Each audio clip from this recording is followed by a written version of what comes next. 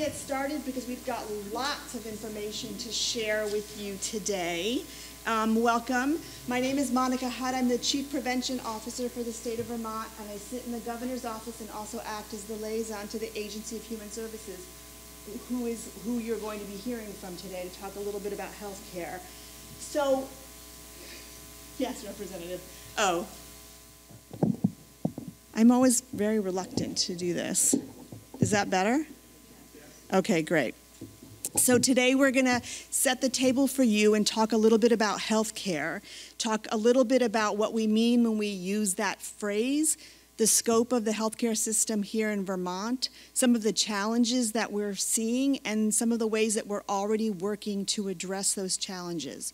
As most of you have heard, um, you've been through uh, some of these already. This is a, a, briefing that is designed for legislators. So we will pause often to make sure you can ask questions. If you have questions and it's not a pausing moment, just raise your hand and we will make sure that we stop. We want to make sure you get the information that you need to feel grounded and confident when we're talking about healthcare and when you're talking about healthcare in the State House. Um, for those of you that are stakeholders or media, if you have questions, we're happy to follow up with you um, offline or afterwards, um, but we're going to focus on our legislative um, folks for here for today. Also, I want to remind folks that we did have one of these briefings um, on community development that was scheduled or had to be rescheduled, and that will be happening next week. So we hope that you'll come back and continue this kind of ground setting, level setting um, process that you've been doing with us for the last two weeks, actually. Um, so without further ado, I'm going to get us started. We've got lots to cover. We also do have a group coming in at 5.30, so we'll try to make sure we're wrapping up right around 5 o'clock and leave a few moments for any lingering questions or catching people in the halls. But I am going to go ahead and introduce, and by the way, if you don't have a handout, let me know and we'll make sure we get one to you. There should be some in the back, but I want to make sure you can follow along. And then I'm going to hand this over to Secretary Jenny Samuelson of the Agency of Human Services. She's going to introduce her team and then we're going to get started.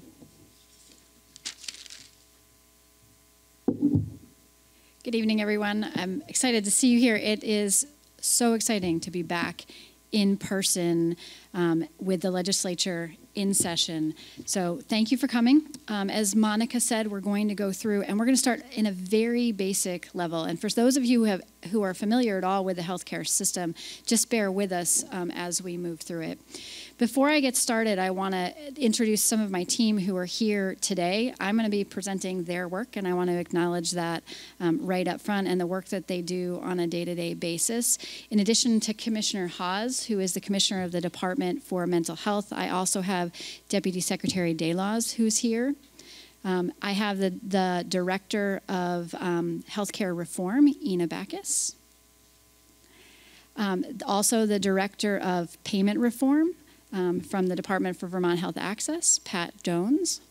And um, Shayla Livingston, who you see often in the legislature. And if you have any follow up questions, Shayla is probably a great contact and she can help make sure that it gets to where it needs to go.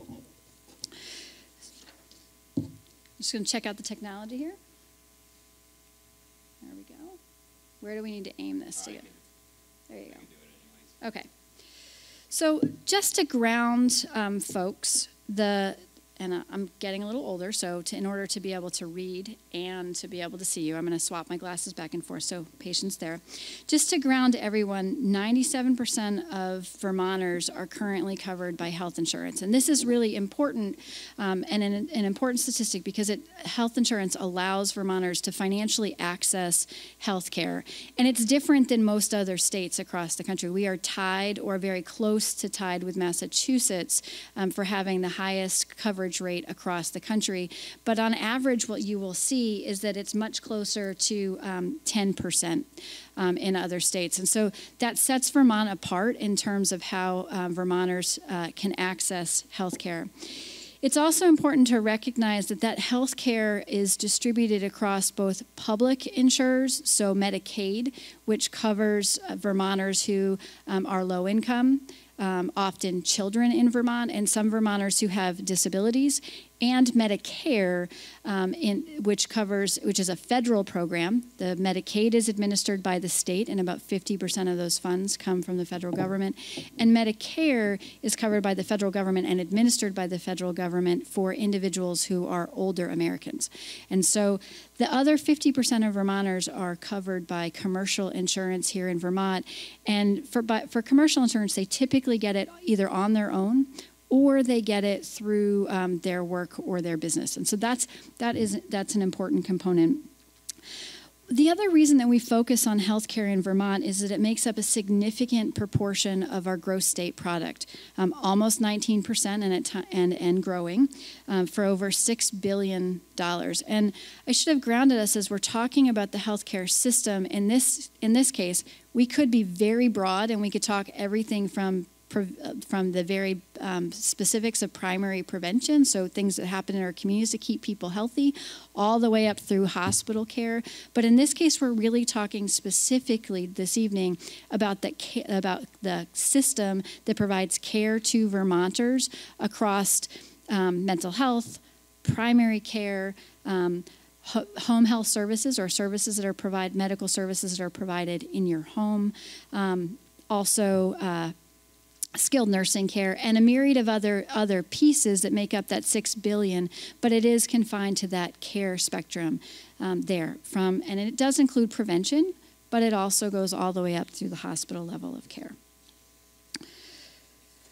So as we think about um, our healthcare system in vermont it is unique in the fact that it is geographically dispersed.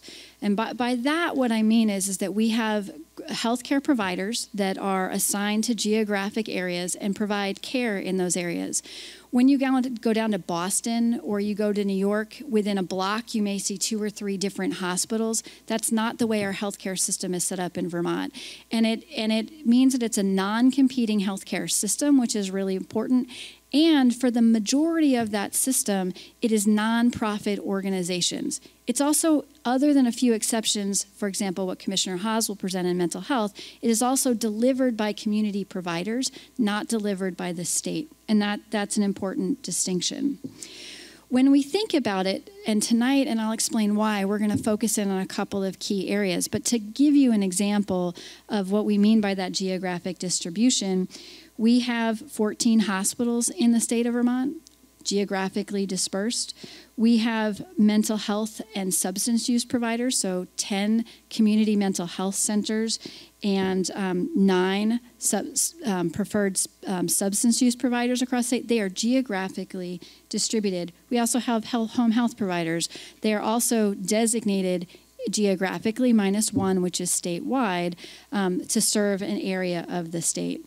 And then we have a, uh, about 165 primary care practices that are equally distributed um, around the state. So that just gives you kind of a landscape, and that landscape, um, that landscape is important because it creates some distinctions in our healthcare system that you don't see in others. So tonight, I want to I want to talk a little bit about the impacts of the pandemic and why we're going to focus in on four key areas. Essentially, the pandemic reinforced for us that there are parts of our healthcare system that interact with each other, and that when those parts of our healthcare, one of those parts of the healthcare system doesn't work um, or is strained or stressed, we see people get care at the highest level of care in our hospitals, in our mental health hospitals. So, not getting care in their communities, in their homes, in places where they would prefer to get their care, but, um, but really in places where they may not be getting um, the care that they want or need at that moment. Um, and so when we look at that as we go forward, the pandemic has also made certain components of our system very brittle. They are strained right now, um, and we'll talk a little bit about why. But there's a, um, the inflationary costs and staffing pressures are very acute in our healthcare system. Um, specifically, travel. You'll hear a lot about traveling nurses and them pushing the budgets over, where a nurse might be normally 50 $75 an hour. Um, traveling nurses are two, can be as much as two or $300 an hour. So um, the workforce stress and strain of it not having people, but also the cost is there and apparent. And so you'll see that in these four systems our primary care system, when it's not working well, folks back up in the hospitals, our mental health and substance use system, our skilled care. And I want to say what's more specifically what I mean by that. When I talk about skilled care, that really breaks down um, in many different directions. But for tonight, we're really going to be talking about skilled nursing and home health services. And then also, as we mentioned, our hospitals. So the reason um, that, and I want to make sure folks understand this, that we are focusing in on these areas is that during the pandemic, we were acutely looking at what are the impacts to our overall health of our population, and what are um, and also what are the impacts to our healthcare system. You might remember the mantra being trying to make sure that we don't overwhelm our healthcare system. And so there's a few key data points. And in this case, if there are questions on them, I'm going to turn them over to Todd, um, who has been um, monitoring and managing a lot of our um, response to the pandemic. Um, but we can go to the next slide up on the screen. Um, essentially, from our health outcomes, there are two alarming features that, that we're seeing. The first is an increase in the number of people who are dying from drug overdoses, um, which has increased during the pandemic. And the second is really the number of people and the trend that we're seeing in deaths from suicide. So, really demonstrating um, a, an acute need that we have for mental health and substance use um, treatment. Um, in addition to that, when we look at our healthcare system, and before the next one go, the next slide goes up, I want to say I don't expect you to be able to read this one, um, which I, um, but really I want to assure folks that we are looking um, in this in the area of our hospitals at what our hospital capacity is. And um, on a daily sometimes or several times a week basis we have a report that comes out from the hospitals that tells us what their capacity is. And it's the color coding is probably the most important here whether it's green yellow red similar to a stoplight black is um, it tells us whether our hospitals have um, the capacity to bring patients in and deliver the care that they need. And in this chart, what you see is, is that we monitor the number of individuals who um, have acute needs that, um, that can't get in. We monitor those who um, no longer need a hospital level of care and could be transitioned to home health or to, um, or to uh, a mental health um, treatment or to community based treatment. And so this gives us a sense of what might be putting pressure on our hospitals. Um, and, and this report we see regularly. So on the next slide, we monitor the number of available and open beds. And during the pandemic, this has gone up and down. And there are times when we've had four ICU beds open. Um, and that has, if you recall, during the pandemic, has drawn significant concern, that's one car crash away from a hospital being able to triage and treat people. The second are the availability of our medical surgical beds or our normal hospital beds um, and the capacity for our hospitals to treat. Um, to treat and see that. And you can see that that throughout the arc of the pandemic, um, there are times when we've had as you know more than 62 um, acute uh, hospital beds available, and then in the last couple of weeks, that's dipped down to 15 or even down to um, four um, ICU beds. And so we are not out of the woods yet, is what this demonstrates and shows. And the question is why. Um, and really, what we see in talking with our hospitals and our system is that individuals who um, have been hospitalized and need to be and are ready to be discharged either to their home or to rehab in a skilled skilled nursing facility or for long-term care in a skilled nursing facility that they are staying in beds longer and in the hospital, which means the hospital cannot bring more folks into their med, to their regular hospital beds. I want to say that a couple weeks ago we were excited because we finally got down to less than 112 people waiting for a hospital um, uh, placement outside of the hospital. But over the last couple weeks, we've seen that surge again. And so that shows an alarming trend of that going up and down based on what's happening um, related to both admissions to the hospital and what's happening in our long term care and home health facilities and the strain on those systems. And then lastly, one of the other areas that we look at is how many individuals and how long are they waiting for mental health placements. And again, on this slide, what you see is that that goes up and down. And green are individuals, th- this is the total number of people who are hospitalized that we monitor and watch. And green are individuals who are there. Um, the yellow are those folks who um, have been there for a, a, little bit longer for placement, and the and the red are those who've waited for or really have acute and complex needs and are waiting. And so we've we've made giant strides um, in this area from where we were earlier this year, but we still see some strain in the system there. And so. Um, uh, Commissioner Hawes will talk a little bit about that. So, what this demonstrates is that if we're not treating individuals in our mental health and substance use, and many people, I'm sorry, I should have said this from the beginning, often often think of substance use as addiction. That can be somewhat offensive to individuals receiving treatment. So that's if, if folks were confused about what that, that is, that's what it is. It's addiction. It's treatment has formally been called addictions treatment. So if our community mental health system's not working, our primary care system's not able to catch people earlier, um, our home health systems downstream are not able to move people out of the hospital or keep people from going to the hospital, what we see is significant strain on our hospital systems. And that is financial strain because that is the most expensive place for us to actually deliver care. So we're going to ground our that's kind of an overview of the healthcare system and some of the main strains that they're experiencing right now and I want to pause there to see if there are any questions about both what our system is and why we're going to focus tonight's discussion um, on a couple of key areas.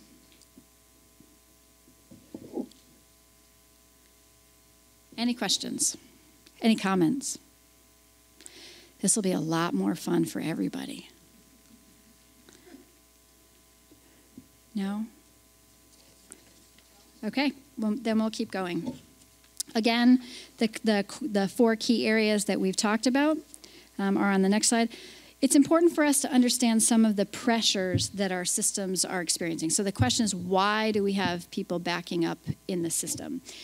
Um, the pressures are, are very similar to many of our other sectors. And I want to acknowledge that the pressures that we have outside of healthcare impact healthcare and vice versa. Um, so when we look at um, our healthcare environment workforce, so it's it's the number of employees because of the the, the demographic trend and shift. They've a lot, many of our nurses and other and other folks have retired. Um, it's career pathways, so getting folks in. Um, and Ina would probably could spend three hours talking about even more. It's also housing and many recruiting people to the state of Vermont and then them not being able to come because there's not enough housing for them when when they um, land here. It's all some of the other pressures that they're experiencing are the demographics of Vermont. People are older and getting older, and they and as they age, they they aren't individually getting sicker, but our population is seeing more um, chronic dis- chronic diseases like diabetes and hypertension, um, so, or also um, high blood pressure. So we're, we're seeing more of that in, in our system, and they're living longer. So um, when we talk about the skilled care, the skilled um, nursing facilities, it's not just folks who've broken their hip, but now it's individuals um, who have uh, mental health concerns who might not normally have made it to that point in their lives who need um, support and treatment. Individuals with dementia who might have behaviors that make it difficult to care for in a normal, um, in a in a usual. It's not normal, but in a usual staffing model for long-term care. Um, and then the last is alignment among our health insurers, and that will be a, um, a key, in addition to those um, stabilizing those key systems of care, it will be um, incumbent on us to make sure that there's alignment. And I want to pause, because one of the things I didn't say is that right now in healthcare, we're trying to go down two lanes. One is coming out of the pandemic, the stability of the organizations is fraught Financially, for the first time, we've got home health agencies as an example who are reporting losses. The majority of our hospitals reported financial losses last year. Our skilled nursing facilities are closing because of these pressures. They don't have enough staff. Um, and when they do have enough staff, it's too expensive. So we're working on stabilizing the healthcare system and, uh, and, and that will be a key theme as we go forward. And we're looking at uh, trying to create a sustainable future, recognizing that the demographics of Vermont have changed and that the way that we deliver care has also, has also changed um, over the last couple of decades. And so, again, stabilization and sustainability as we go forward. Thank you. Finally, a question.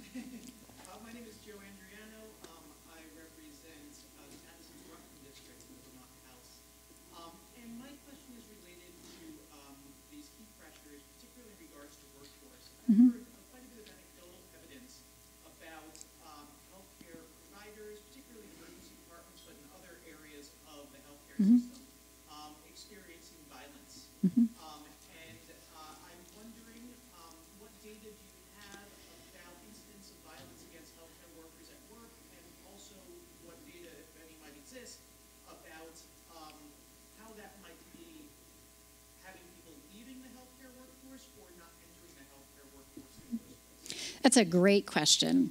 I will say that we're working with our healthcare providers to pull together that data. Um, in some of our public safety work, they have they can see some instances of that in the public safety data, but it's really masked as, you know, if someone created a violent crime and we can't tease it out of hospitals. And so we're needing to get that data from the healthcare system itself. So we're working on it. But it is, but it is a, a, an issue that is prominent, particularly in our emergency um, departments. Um, when when we think about it, one of the things to contemplate is, is that our emergency departments are front line. They're front they and we have worked so hard in Vermont to work to make sure that individuals get a fair and true assessment and to determine whether it's a medical issue a mental health issue, a substance use issue before we incarcerate them. And so oftentimes they're brought to the emergency departments um, to get those types of assessments done. And in that process, um, so, sometimes, and it's not just because of the, the medical, mental health, or substance use issues, individuals continue to perpetuate violent ac- activities. And so we're working with our, with our emergency departments to look at how we can relieve that um, over time, including, you know, is there another place where we can do those types of assessments? Um, we do them right now for individuals who are intoxicated, as an example, in our public inebriate programs. Can we do that for mental health um, outside of that? And that then gives a path that if it is someone who's violent, and not violent for a mental health, substance use, or other issue, they can go um, and move on through their criminal justice system. So it's a great question, and it is a one of the reasons that we do have some of our healthcare providers say that they have decided to leave the work. Um, so when we get to the mental health component of what we're talking about, think about our emergency rooms as an extension of our crisis system of care, um, and and that's I think going to be an important component. Looks like. Mm-hmm.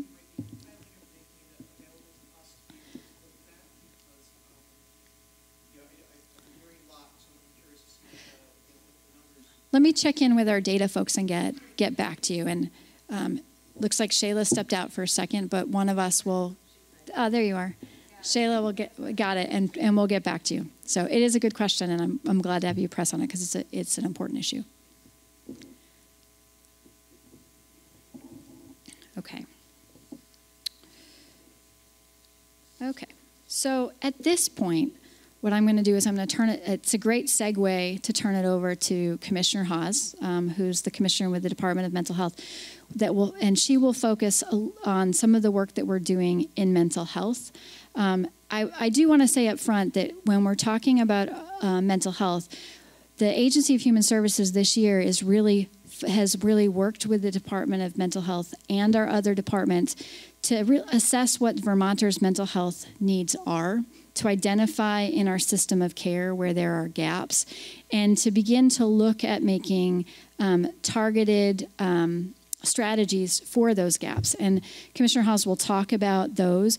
And that, that's our real, uh, that's an approach to make sure that we're not just pouring in, money or funding into one type of organization, but that we really truly understand how we can make a shift or a turn for Vermonters. Um, and so you'll see, see things like mobile crisis, and I'm gonna I don't want to steal um, Commissioner Hawes' thunder, but mobile crisis, and you'll see alternatives to emergency departments. And so again, our goal in our mental health investments is to look at the, the service needs and to make those types of investments, um, and that should be apparent.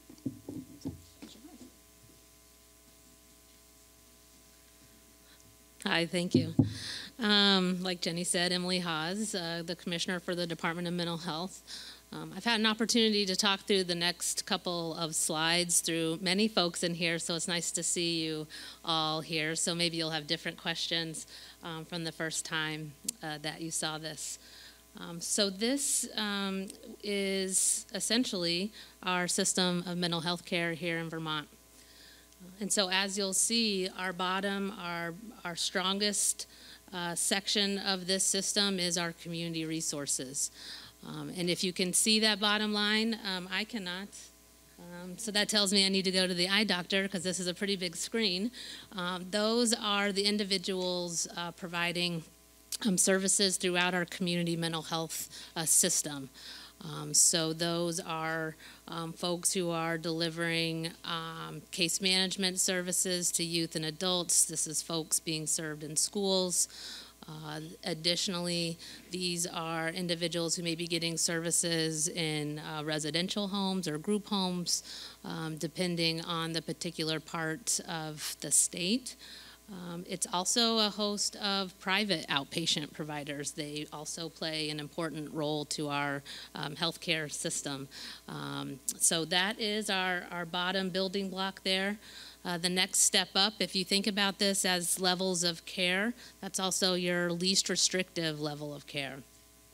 So you move up one more uh, level, and those are our crisis supports and response. Um, so each uh, part of our state has uh, crisis beds. Uh, those came out of Act 79, if folks remember that. Uh, so each uh, community mental health agency serves adults in crisis beds. We also have youth crisis beds um, down in our Bennington area and then also in the um, um, northern parts of our states in Chittenden County. Um, if you move up another level, those are uh, what we refer to as intensive residential programs. Uh, so we offer intensive residential program throughout the state uh, for uh, adults primarily. Um, and those are uh, located, like I said, for example, in Westford or in Williamstown or down south in the Springfield area. Um, and so we offer numerous beds across that particular level of care. If you think about the next highest, um, we offer uh, services within a secure residential um, system. Right now, the state of Vermont and Department of Mental Health operate the Middlesex Therapeutic Community Residence, um, and that is a uh, secure residence in Middlesex. It's currently a seven bed uh, residence, and then we will be expanding that to a 16 bed residence um, and moving that to Essex. The name change for that will be the River Valley Therapeutic Residence. And so that is for folks who are um, perhaps stepping out of the hospital who still need um, a highly structured uh, environment to receive care before they step down through the um, other levels of care down to the least restrictive. Um, then you'll see at the top, um, like Secretary Samuelson summarized, this is also our most expensive, um, and these are our inpatient beds.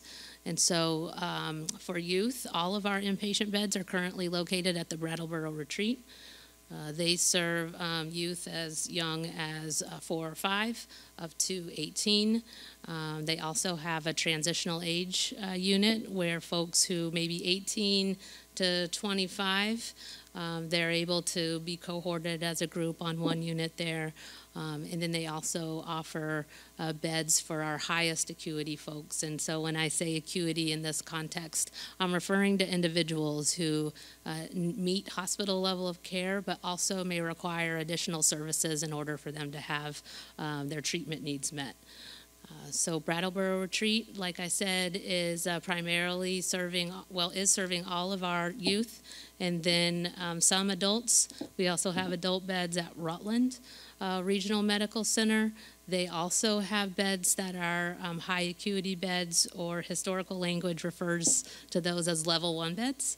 Um, and then we also have Vermont Psychiatric Care Hospital, which is a 25 bed facility located here in Berlin. That's a state run facility for adults who are under the care and custody of the commissioner, meaning that they are involuntary.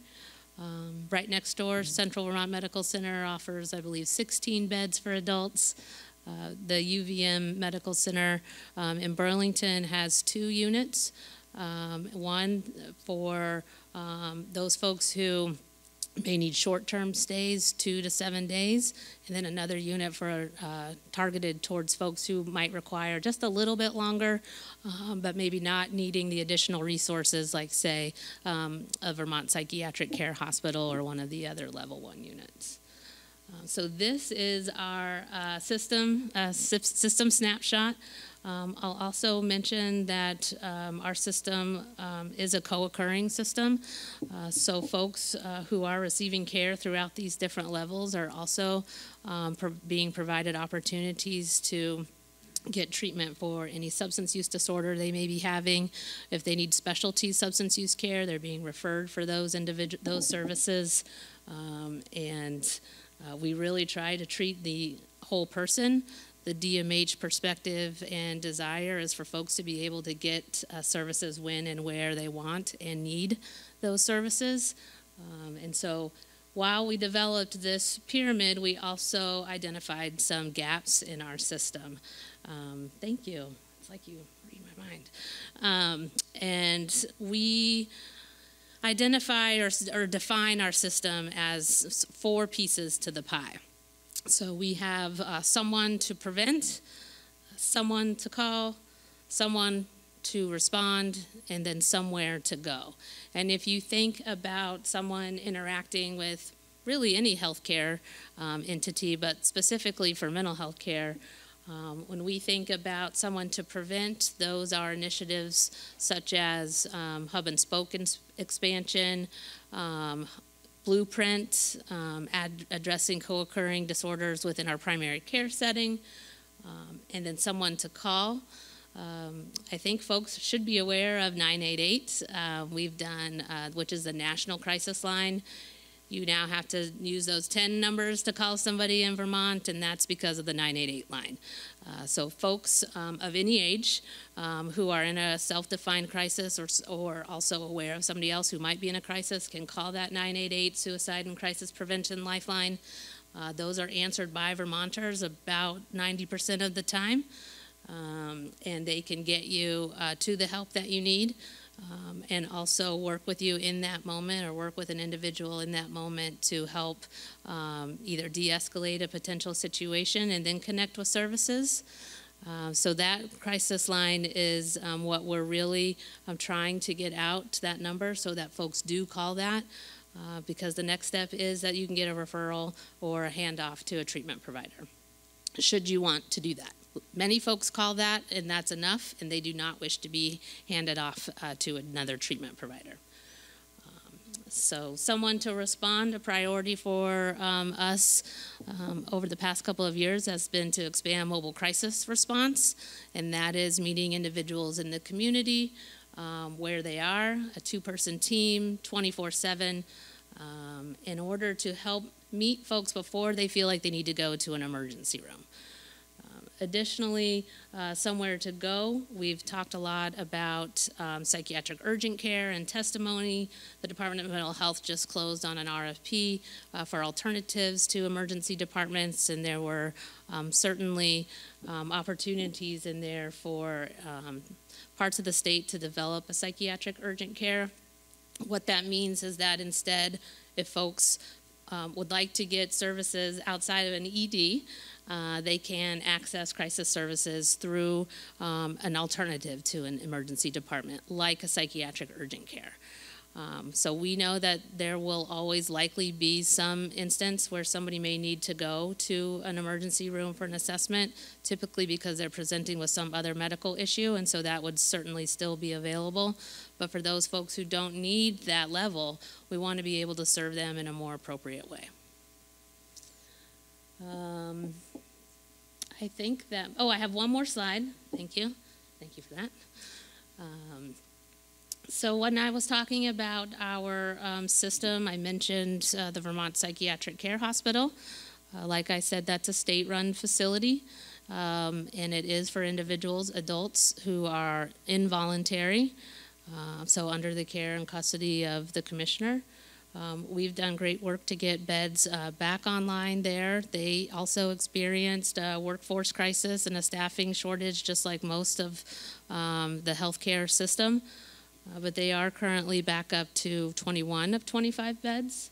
We've also focused on stabilizing the Brattleboro retreat. The Brattleboro retreat is getting ready to be back up to pre pandemic um, levels of being able to accept patients throughout their facility. And um, kudos to the Brattleboro retreat team and their collaboration with um, the state and working together to form that strong um, collaboration and getting those beds back online. Um, and then the last, like I mentioned, was expanding our uh, secure residential, moving uh, the Middlesex Therapeutic Community Residence to Essex and expanding that to 16 beds. Um, and that also is adults. I feel like I dumped a lot of information on you, and so I apologize. Um, any questions or comments at this point? So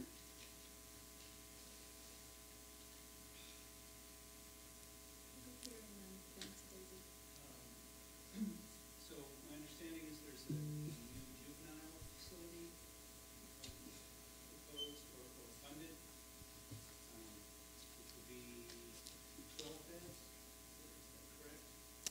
I don't know the details of what uh, the juvenile facility is currently proposed at. Can I, can I ask clarification?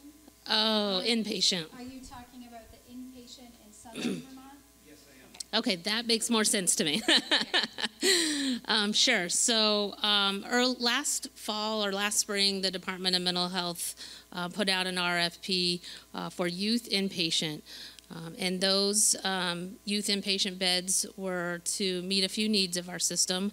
One, we were experiencing an increase in youth um, with complex medical conditions who needed access to inpatient psychiatric care.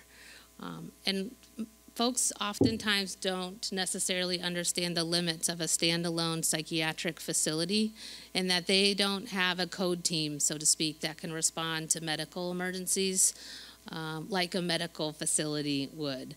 Um, and so we saw youth uh, wait longer um, and sometimes be served on an adult unit, and that's uh, not something that we want to see happen again. Um, and so, knowing that we have youth hitting our system who are also maybe pregnant, um, who may have um, untreated diabetes or severe um, uh, eating disorder, uh, those folks can um, be challenged in um, finding the appropriate placement due to the medical needs that they uh, require. Uh, so the RFP is to help serve those folks um, so that they're not waiting longer um, and then getting served in an inappropriate setting like an adult unit. Uh, we had one bid to that RFP. We um, reposted it after that um, initial bid pulled back from that project. Um, and Southwestern Vermont Medical Center was uh, the next um, per, next facility to, to bid on the RFP. I'll highlight that that's still in a feasibility study stage, uh, so there's still more information to be learned, including how many beds, which I know um, is a, a, key focus.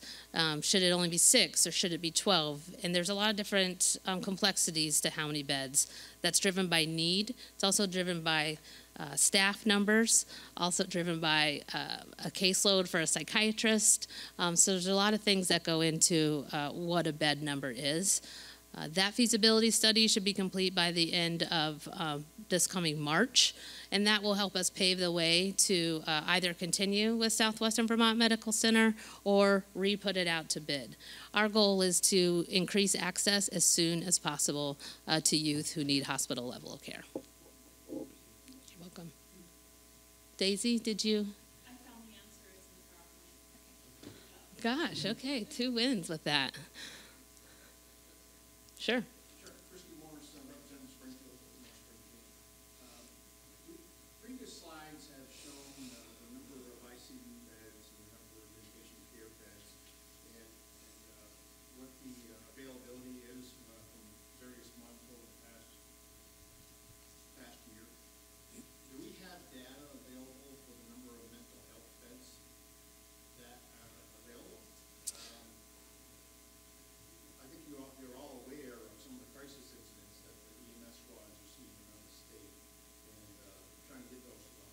Mm-hmm.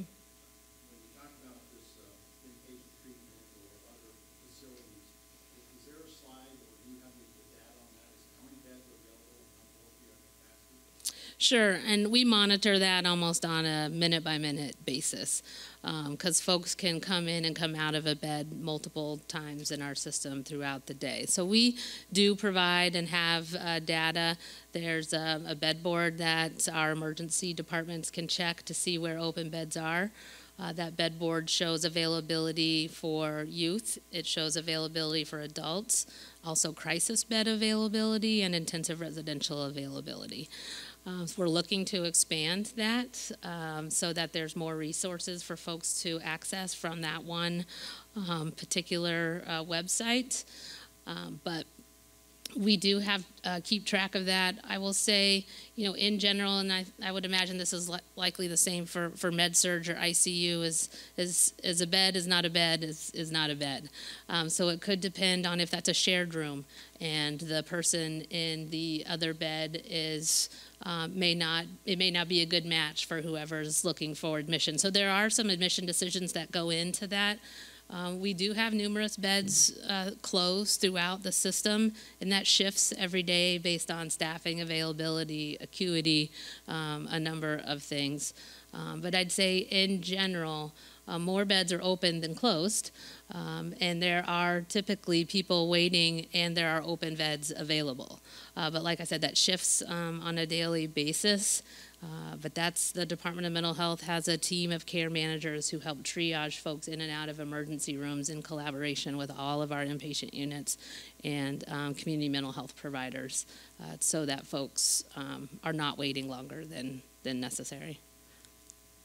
I also want to clarify, one of the things that you mentioned in your question was EMS, so emergency medical services, being able to access those beds. And so, Commissioner Hawes, I wonder if you can explain the pathway, that it's not, it's not as simple as, um, you know, um, mental health um, hospitals don't have an emergency department specifically for mental health. And so uh, EMS can't bring someone who's in mental health crisis straight to a hospital. So do you want to talk a little bit about what that pathway looks like? Sure, I can do that if that's helpful for your question. Um, so let's, I'll use a couple of examples. I'll start with a voluntary example. Um, somebody can call, say, um, the Brattleboro Retreat and do an intake assessment and can be admitted from their home. They don't necessarily need to go through an emergency room.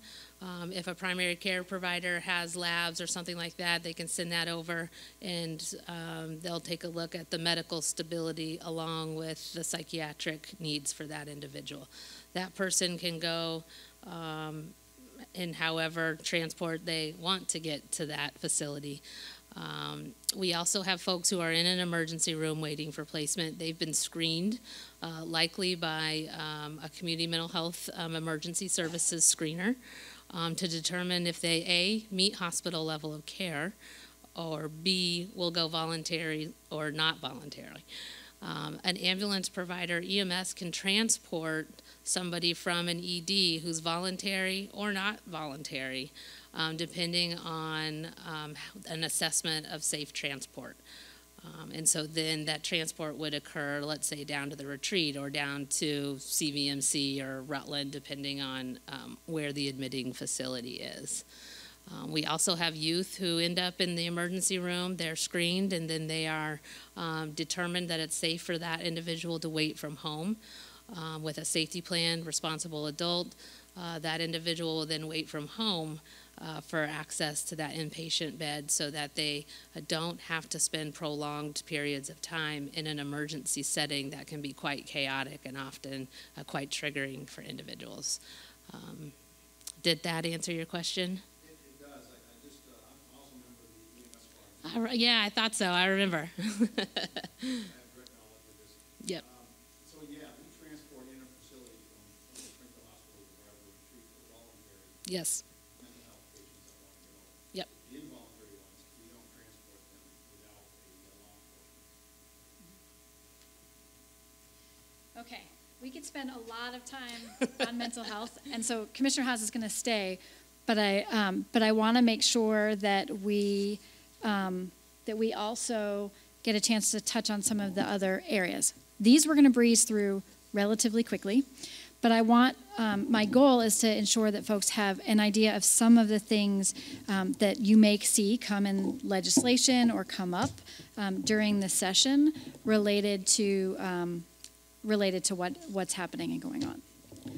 Okay, so when we think about um, primary care, um, it's important for us to know that Vermont has a strong foundation of primary care. That includes our federally qualified health centers, um, independent primary care, which are, pri- practices are owned by physicians, and then hospital owned primary care.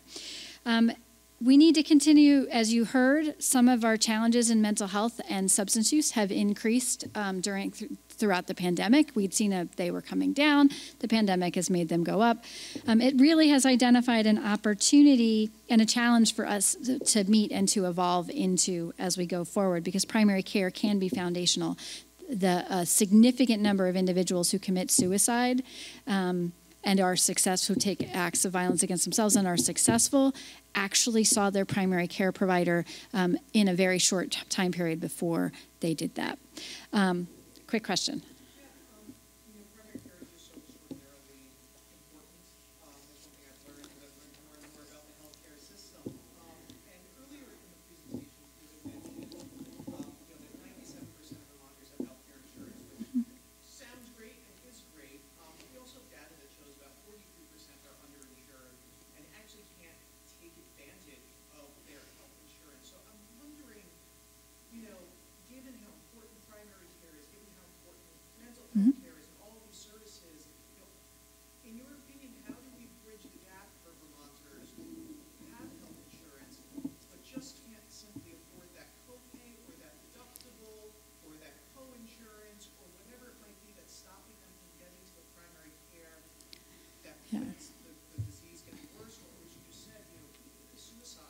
Mm-hmm. How do we bridge that gap? So I can see Ena kind of at the edge of her seat a little bit on this question. Um, and there are some policies that are already in place that allow access to primary care with lower copays and other pieces. And I don't know, Ena, if you want to speak to that before I check out.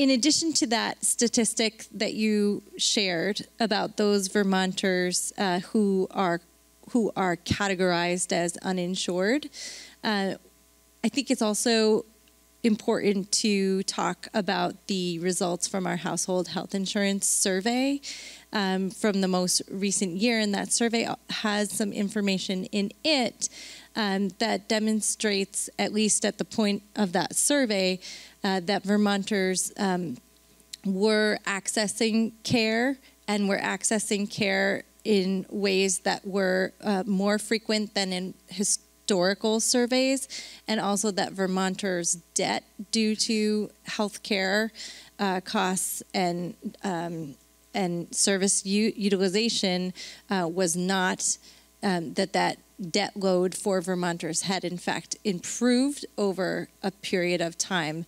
So I think that's a place to uh, really look at a number of data points together to better understand um, what's what people are experiencing relative to their particular coverage.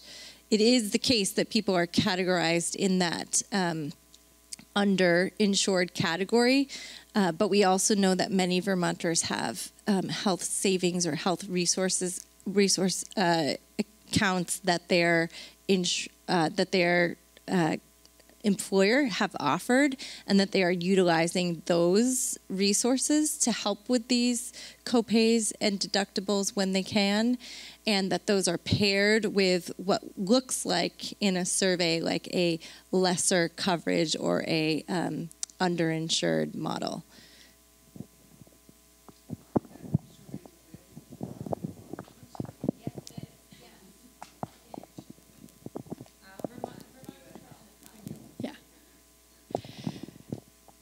So oftentimes, what, what we'll hear from our constituents is that, um, and these are true. These are true uh, issues for us to tackle is that people are having problems accessing a primary care provider um, for two reasons. One, um, there's a lot of practices who aren't accepting new patients, and so if you're new to Vermont, you don't have a primary care provider, it's hard to find one.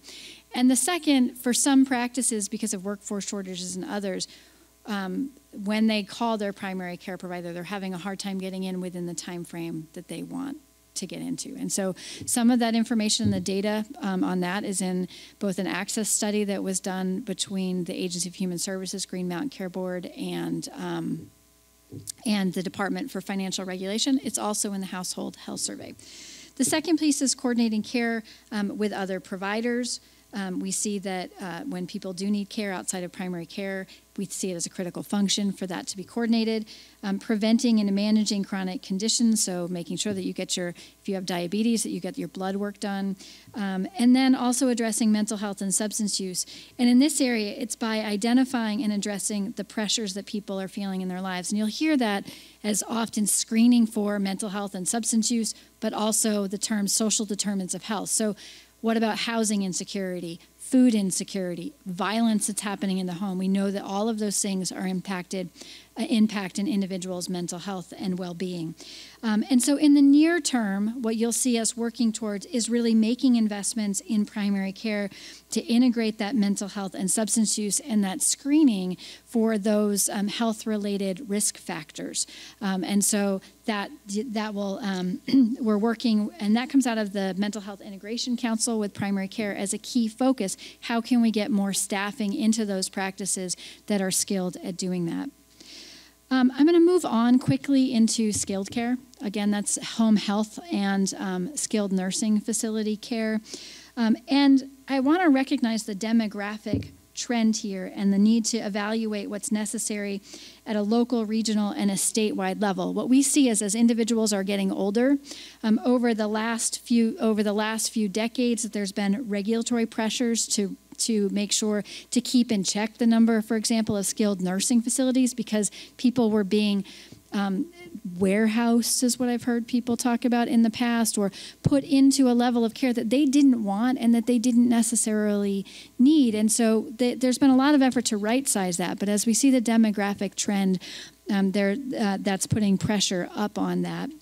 And then financial workforce pressures and demographic issues we've talked about.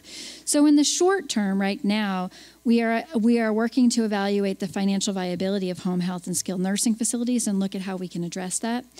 We're evaluating um, the Choices for Care program, which I'm just going to describe what it is, but it's a way to get services in your home, um, home make uh, services that have someone help you with things that you can't normally do that would make it so that you would need a nursing home level of care, but that you might not be eligible for under normal Medicaid. It allows us to provide those services so that you're able to stay in your home and not go to a skilled nursing facility. So, evaluating how that program exists and its funding investing funds in opening nursing home beds right now due to staffing, so trying to cover the difference in the staffing costs so that as you saw those pressures go up, um, working with some of the facilities to open closed beds um, by covering some of those costs. And that's a very short term. It's not something we can do forever, but it's something that's critical for us to do right now um, as we try to figure out the financial sustainability long term. That's just the stability. And then opening specialized beds. As I mentioned before, individuals who are aging who have mental health, substance use issues, who have violent behaviors because of dementia or others, and our skilled nursing facilities aren't aren't rightly positioned now to provide care. And that's what a lot of the folks who are in our hospitals right now waiting for a bed are waiting because it's not that there aren't open beds, but there isn't the right bed, um, as Commissioner Hawes talked about. And then lastly, um, Commissioner Hawes mentioned that we've been working with the Brattleboro Retreat. We dug in deep with them. We looked at what finance, what, and I'm going to use them as an example up front. We dug in deep with them to really identify what it was that the care needs of Vermonters were, where they were losing money, and in those places where they were losing money that we didn't necessarily need them to do, provide that care, they discontinued it. Um, they did, not the state. And then in those places where they were underfunded, we provided supplemental funding.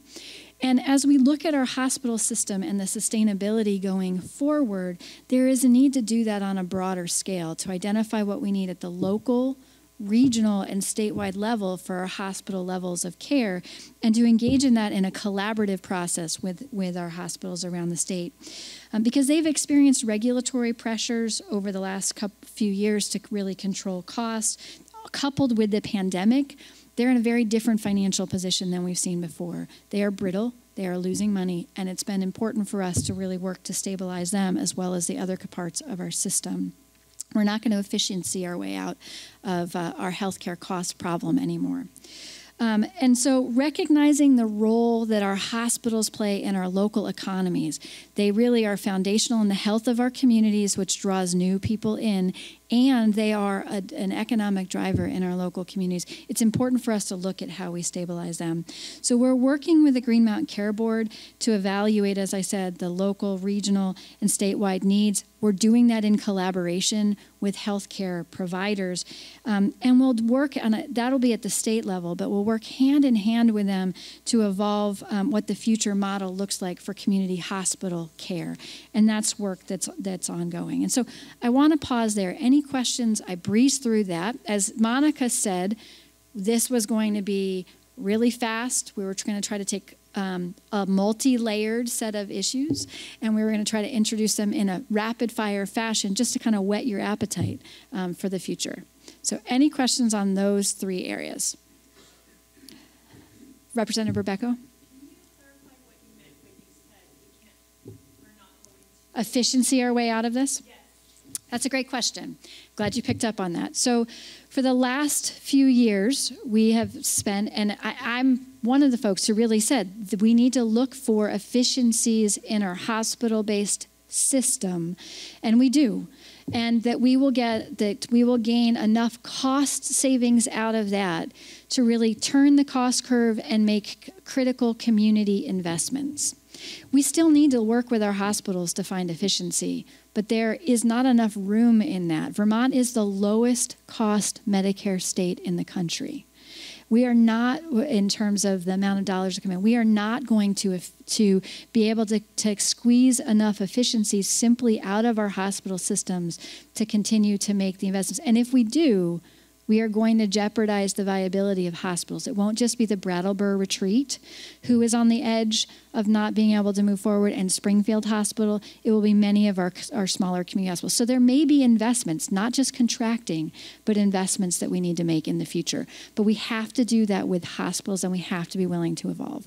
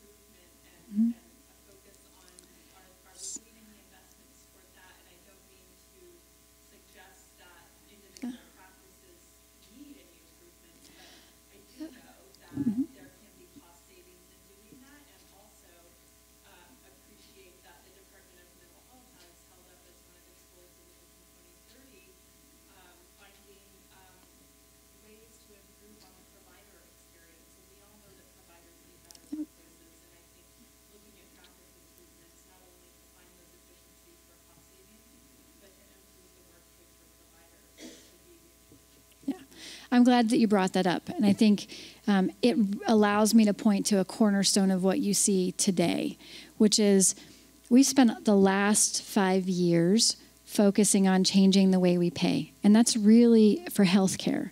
And that's really important. Moving from paying for every time a service is delivered to paying um, in different ways that would help to give providers flexibility and incent outcomes the agency in working with our providers has really refocused some of uh, refocused a lot of our attention now on what does the system of care look like that we need. And you see that as we talk about um, in looking at investments in primary care with, with a specific um, intention in mind mental health and substance use. You see that as we talk about the investments that the mental health system is doing. So, really, what are the services that we need? You also, in proposals underneath that, um, like the blueprint as foundational to primary care, see um, a work to evaluate how we can do care differently in those practices to improve. And so, um, in the past, it's been a lot about if we pay differently, care will be delivered differently. We're really fo- refocusing now on how do we care differently and then use the payments to support that care. And so that is a change in in our focus and also from just provider driven reform to a public private partnership because the pandemic pointed out that when the state partners closely with providers. We hear better what it is that providers need. We can resource that better. Um, and we can work collaboratively to provide the training and quality improvement supports. The Blueprint for Health, which is a program that works with primary care providers, is a perfect example of where that works really well. So, thank you for that question.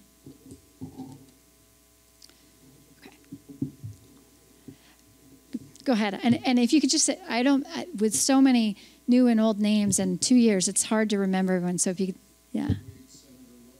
Thank you.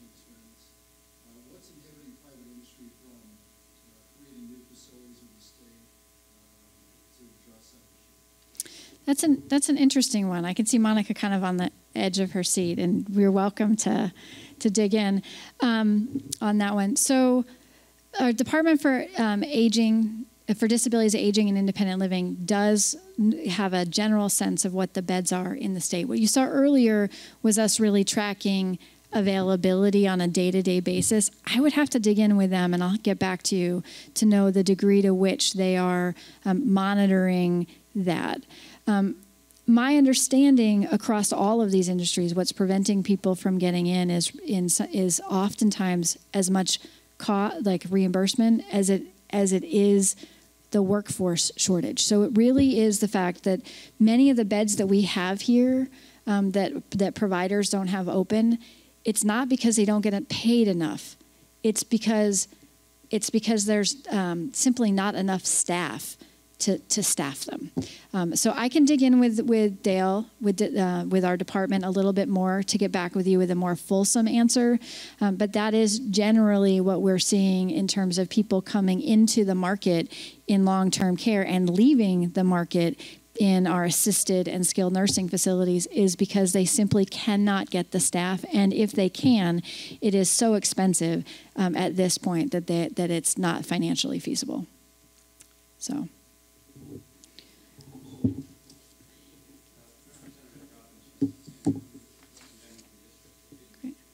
Thank you.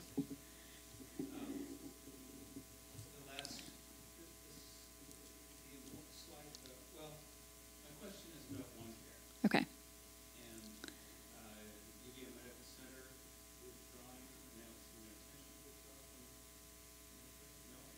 No, so let me, for everyone else in the room, let me describe what One Care is. And then I think what you're talking about is Blue Cross Blue Shield. Is that what you're talking about? Withdrawing? Okay. It's a good guess. Yeah, no, that's okay. I'm going to move around a little bit. So, One Care in Vermont is an organization of providers who have come together and um, agree that they will manage the health of an entire population and that they will get paid in a different way. For hospitals, it's through a fixed payment versus getting paid every time they do a service um, for um, their care. And in general, it's been described as a way that providers come together and they get paid differently and that they and that they agree that they're going to provide care differently in order to help moderate cost and and quality to um, Representative Rebecca's um, point. And our goal was is that that would help with some of the quality improvement. So over the last five years, Vermont has been testing th- this model where one care is an ACO, that type, that provider type of an organization, and they have hospitals as members and primary care as members, all the providers that we've listed. Um, and Blue Cross Blue Shield came forward and said, we have concerns um, about whether they are providing uh, um, the value that is worth the cost in the system. And it is incumbent, uh, there's, as a payer, um, the Agency of Human Services actually administers Medicaid. Um, and so, as a payer um, ourselves, we are working to evaluate that question um, as we go forward. How do we want to provide care differently and pay differently to continue to get our systems to be where we where they need to be?